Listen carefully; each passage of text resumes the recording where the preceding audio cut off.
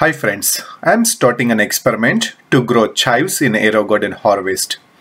I heard that it is very difficult to grow chives, especially the AeroGarden's pre-seeded pods. Let's see how this experiment will turn out. I am starting with the seeds that I bought from dollar store. Let's see how these seeds will work. Since the germination rate is very low for chives, I am placing 5 seeds in each pod and starting with all 6 pods. Alright, the garden is ready. As always, I will add water but I will not add nutrition right away. I will start adding nutrition once I see the seedlings. By the way, chives are perennials. I will grow these in AeroGarden as long as I can and then I will transplant them to soil in my backyard. I am choosing the herb garden which is 17 hours light per day. It's been 14 days. I see only one seed germinated in one pod. No signs of germination in any other pods. As I expected, the germination rate is super low. Only 1 out of 30 seeds germinated. I am not giving up anytime soon. I will wait for a really long time on these seeds. Day 19, I still see only one seedling. No signs of germination from any other seeds or pods. Day 20, still same status. One seed germinated and the seedling is coming nice and that's it. Even though I have only one seedling in this garden, it is time to start feeding it. I will use AeroGarden nutrients throughout this growth cycle. Day 26, Still same progress.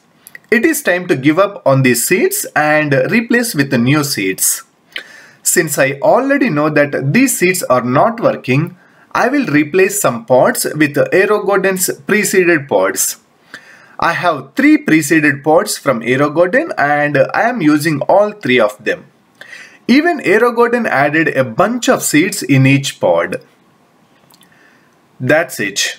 I will keep the other two pods as is.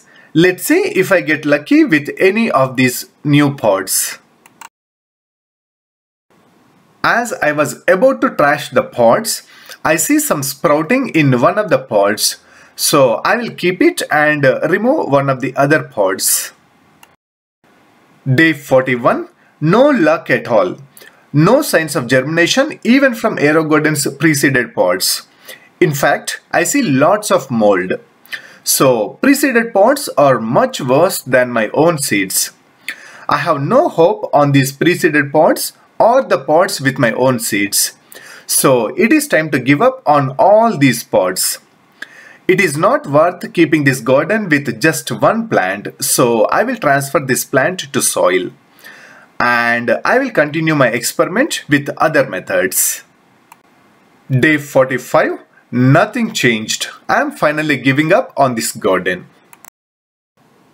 Since the germination failed so badly in Aero Garden, I will try two more methods to see if germination is any easier in these methods.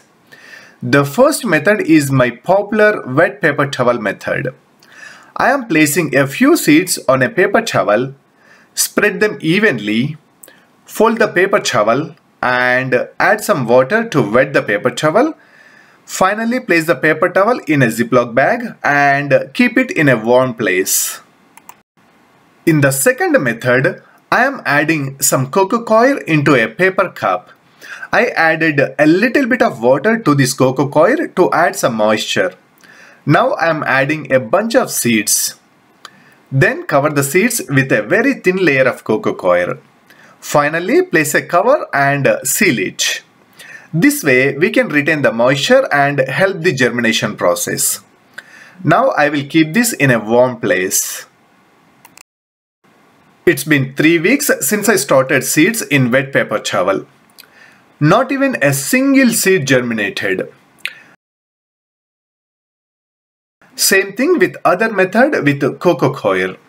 Not even a single seed germinated. Wow, what a failure.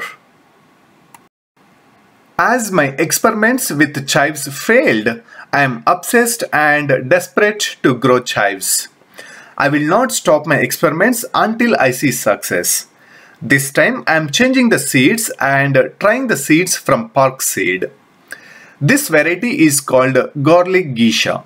Let's see how these seeds will turn out.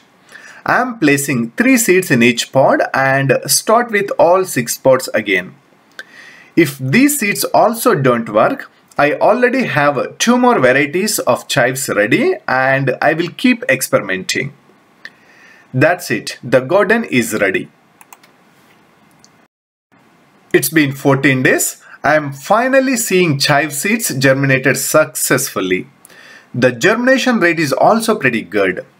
I see at least one seedling in each pod.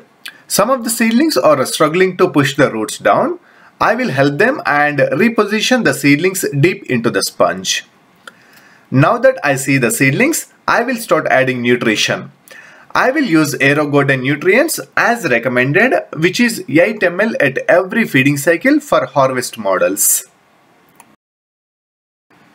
Day 25 Seedlings are coming excellent. This is a funny coincidence.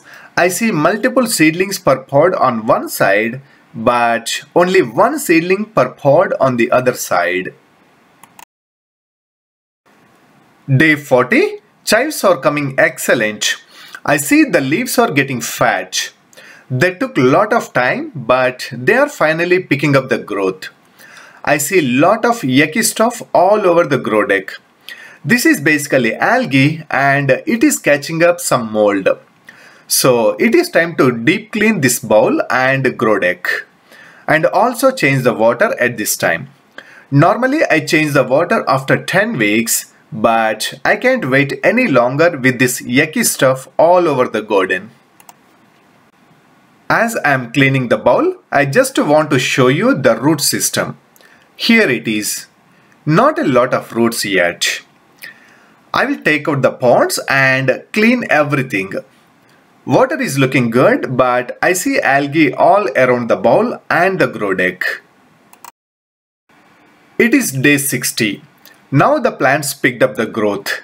The older leaves are drying up so it is time to start harvesting the chives. I see lots of growth coming from the center. Some leaves are coming wide and some leaves are narrow. Anyways, I am finally seeing chives successfully. And I am harvesting some chives today. I can't wait anymore to try these chives. Here is my first harvest of chives after more than 4 months of struggling. This is the light at the end of the tunnel. And the chives are going into my egg omelette. This is my favorite way of using chives.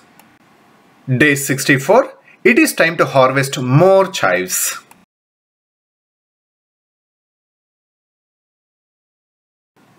Day 65. More chives are showing up as I harvest. And this journey will go on for a long time if not forever. I will stop here for now. I will keep you posted if I get any more learnings from this experiment. So please stay tuned. Thanks for watching and happy aero gardening.